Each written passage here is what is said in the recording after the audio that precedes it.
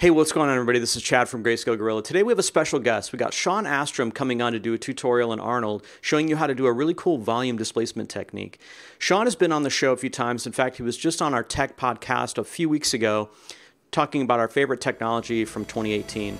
So, uh, yeah, let's jump in.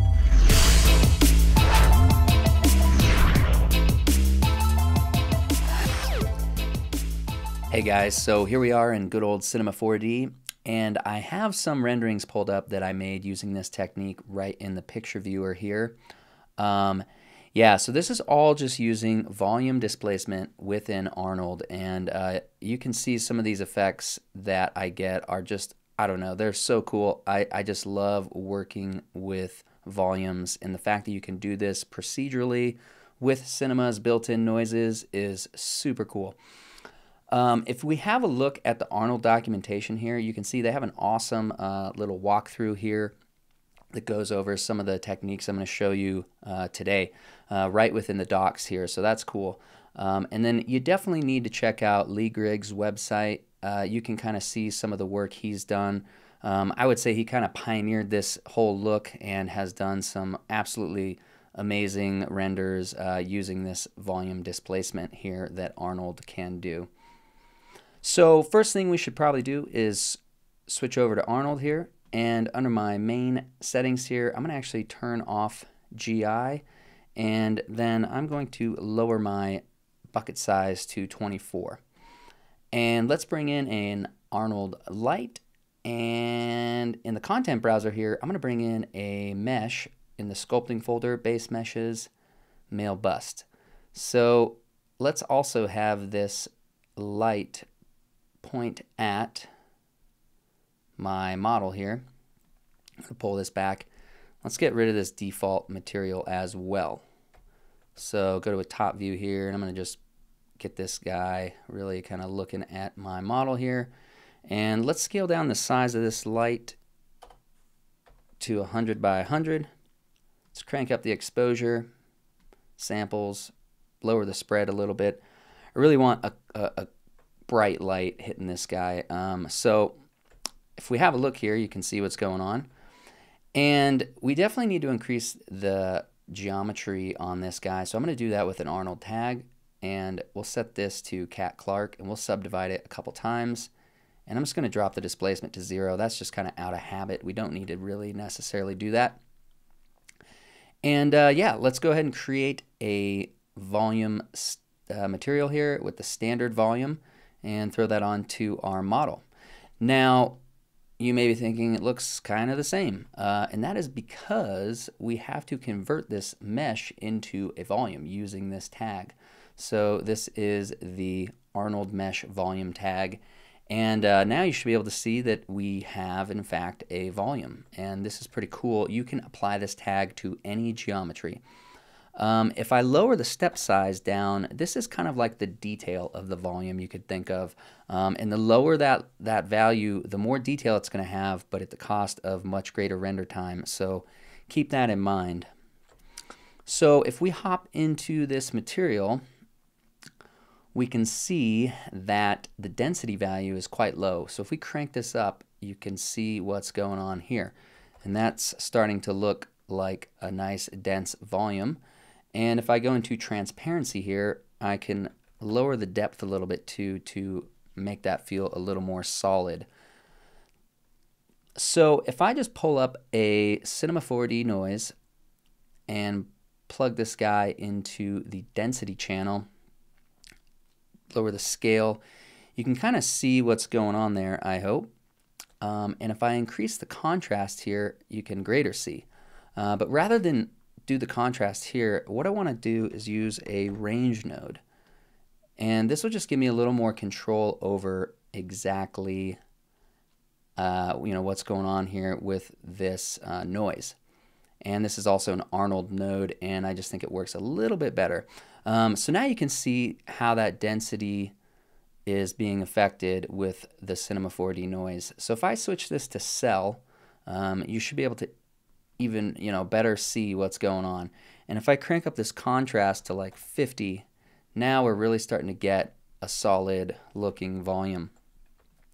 So this is all well and good, but we want to actually displace this. So in order to do that, back into our shader here, we need to plug this guy into the advanced section here, displacement. And I'm going to unplug density. And you'll see that goes away. There's one other kind of gotcha here, and we need to go back to the mesh volume tag and crank up this volume padding. And once I do that, you'll see that, well, we get something going on here. But this padding value is kind of like a bounding box you could think of. So we want to make sure that this is at least a little bit larger than our model. So back into the good old material here. Um, now with my range values, if I lower this contrast way down, you can see now what the heck's going on. Um, so if I rotate my camera around, you can see how this guy is being displaced kind of off into uh, sort of an average direction here. And let me just go back in here. So we want to be able to control the direction of the displacement a little bit. And for that, we're going to use a vector map node. So I'm going to plug this guy into here and go there. And now you should see that the volume is being displaced in the x direction.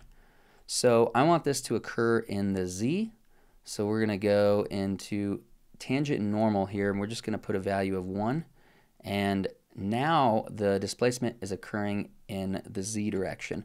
So now you can maybe start to see what's going on um, and how we can get closer to that look.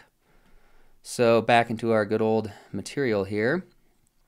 I am going to switch the noise over to something like Naki, crank up the samples, maybe change the seed and the scale.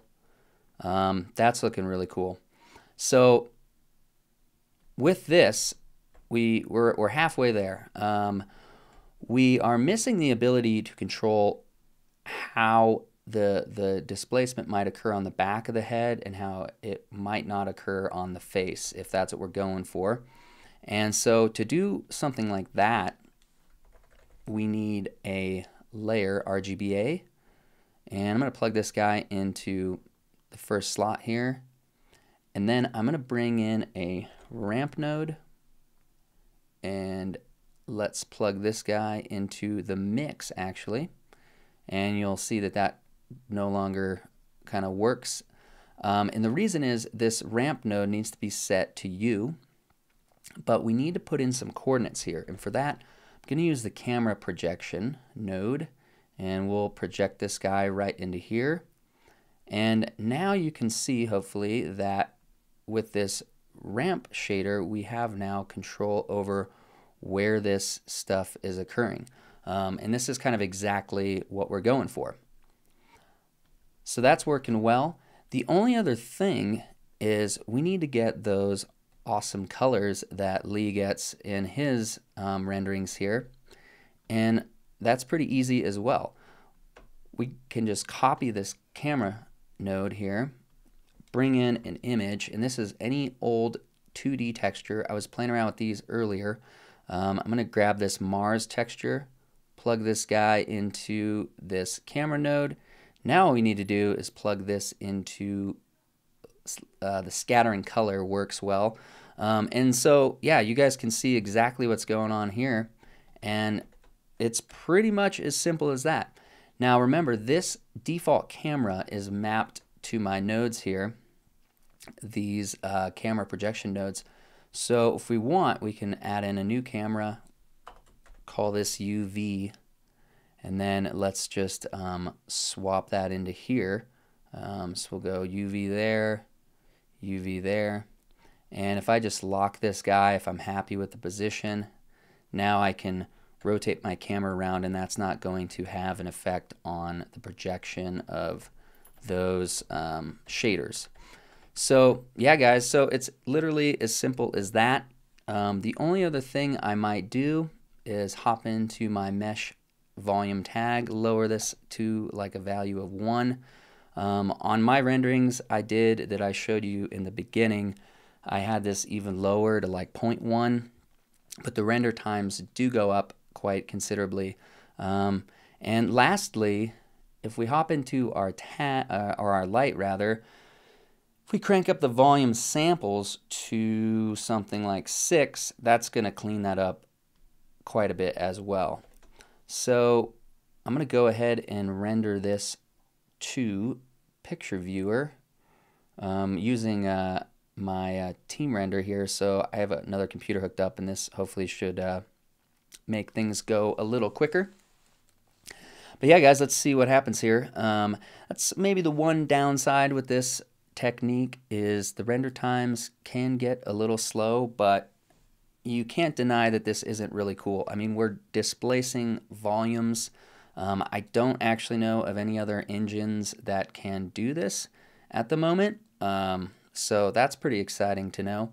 But yeah, we'll go ahead and let this finish up here. And uh, it's not taking too long. Um, but yeah, I think this is looking pretty darn cool.